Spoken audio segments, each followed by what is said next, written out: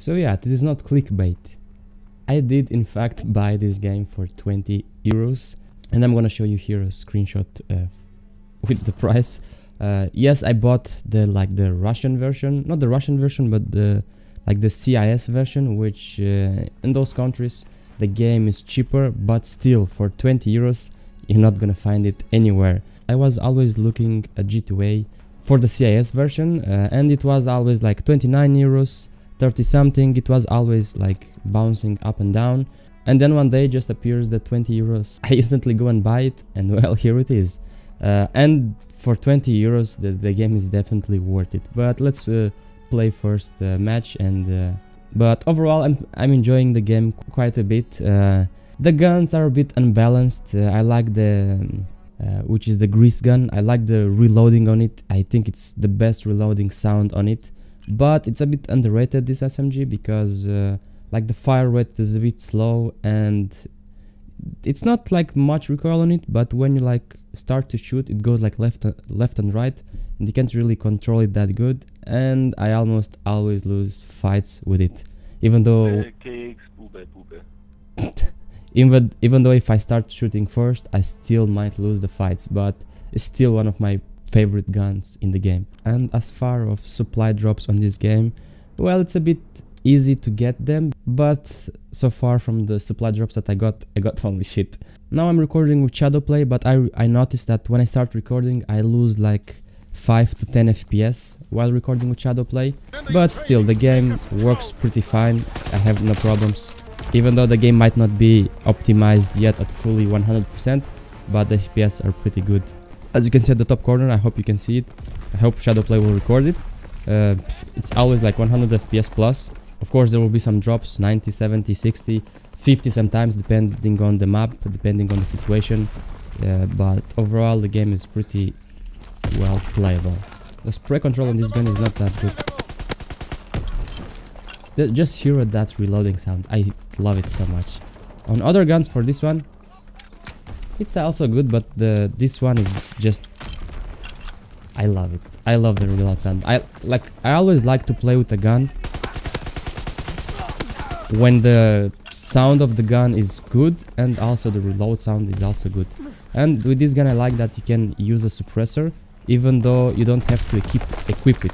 You always have the suppressor. If I press 2 I disable the suppressor I press 2 again and I enable the suppressor which uh, yeah it's very good about this gun and you see there I kinda start to shoot first yet I lost the fight because yeah this gun this gun is a bit underrated in my opinion, but maybe it will get the buff in the, in the future.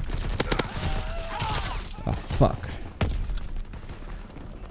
And the thing about maps on this game, there's so many routes, there's so many routes, you're gonna always, almost always get killed from the back, even though like you try to look everything, you're gonna get killed always from the back.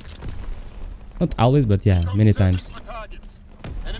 I like it without suppressor, in fact.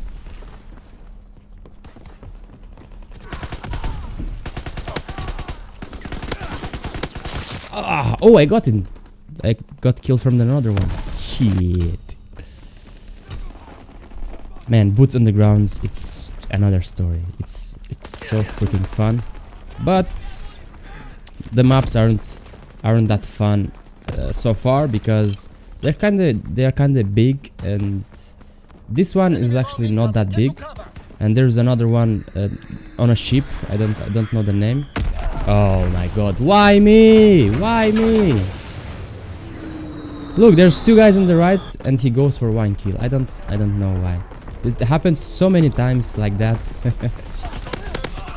got it boy like i was saying uh, there's another map like on a ship where that map is maybe smaller than this one. Uh, I like that map as well. It's it's pretty fast paced. No, fuck, man. I need to always I need to stop like reloading always. Like I shoot two three bullets, kill one guy, and then I go reloading. I need to stop that. I always die because of that, and it's so stupid. What the fuck? See, I just come from there. He comes from like behind. It's, there's so many routes and not on this map but on most of the maps so many routes uh, you're gonna always die from like behind and shit. But coming from jetpacks and stuff like that, where last year I bought actually Infinite Warfare and I played like 20 hours maybe, I just wish I never bought like Infinite Warfare. And Infinite Warfare wasn't even that bad of a game if it didn't have like uh, jetpacks and all the futuristic guns.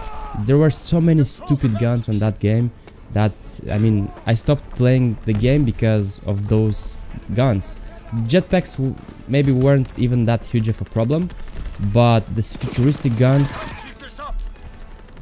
yeah, you're gonna get like campers like this most of the times. It's so freaking annoying. But yeah, like well, but yeah, like I was saying, it feels good to play again back like boots on the grounds with old guns. It's so good because futuristic guns they kind of they they ruin the game, man. Infinite Warfare had a lot of retarded ass guns yeah, I wish I never bought that game. First video of the game, but yeah. Thank you guys for watching. See you in the next one. And let's try to open something. Here it goes, nothing. It's gonna be pretty shit. Let's see. And very shit. Holy goddamn.